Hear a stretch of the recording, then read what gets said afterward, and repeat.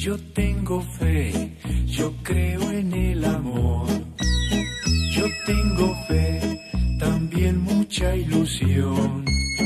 Porque yo sé, será una realidad el mundo de justicia que ya empieza a despertar. Yo tengo fe, porque yo creo en Dios.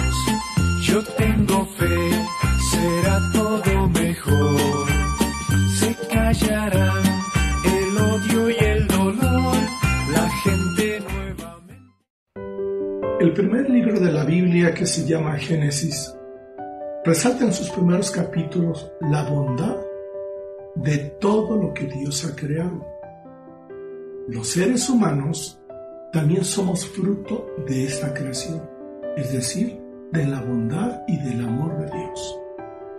Partiendo de esta premisa importantísima que es la Biblia, llega uno a la conclusión de que nuestra vocación de los seres humanos es hacer el bien a nivel personal y con todo lo que nos rodea. Todas las capacidades y cualidades que cada persona tiene tienen este fin, realizar el bien con todo lo que tenemos y nos rodea.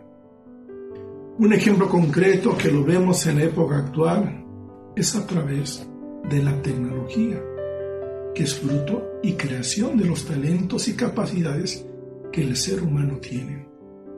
Pero toma en cuenta, la tecnología es solo una herramienta que si la usas responsablemente puede aportar un gran valor en todos los medios de comunicación social. Es decir, en la transmisión y búsqueda de información, en la comunicación con, los con las demás personas, en el trabajo, podemos hacerlo más rápido eficientemente, el aprendizaje en diversas áreas de la vida, bueno, hasta para divertirnos es bueno la tecnología. Por lo tanto, si alguien se preguntara, bueno, ¿en qué quedamos? ¿La tecnología es buena o es mala? Primero que nada, recuérdalo, la tecnología solo es una herramienta. Depende del uso que tú le des. Si le das un buen uso, cuánto bien puede, y de hecho lo está haciendo como ahorita a través de este video, que puedo llegar a ti y deseo darte un buen mensaje.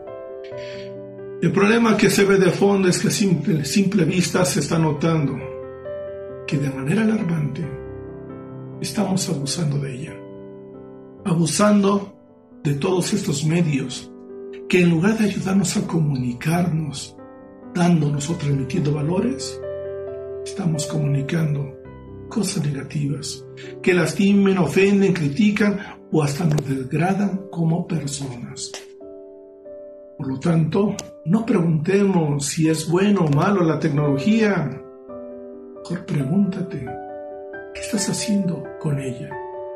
Porque cualquier medio, por ejemplo, los celulares, te pueden ayudar muchísimo para dar un buen mensaje también te pueden perjudicar y alejarte, comenzando con la gente que tienes enfrente de ti, con la gente que quiere comunicarse, pero estás tan metido en tu mundo de cosas que no pones atención al verdadero mensaje.